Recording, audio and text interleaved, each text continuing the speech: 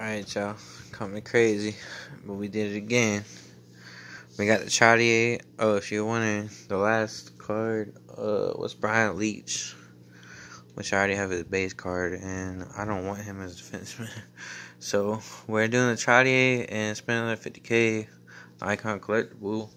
Hopefully, we get the Matt Sundin. I guess we're gonna keep doing this till we get the Sundin. But, but I spent about 90 grand just trying to get a Sundin since uh, the first time we got a St. Louis. So here we go.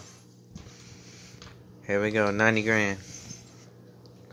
Bernie Parent, that's not good. A goalie. St. Louis, we already had him. Can't even trade him in. It's going bad fast, guys. It's going bad fast. We're due. We're due. Clark. Can trade him in though, so. Alright. Hopefully this is it. Hopefully this is it. Come on. No, it's not it. It's fucking other leads. I'm gonna keep doing this. I don't really have anything else to spend money on.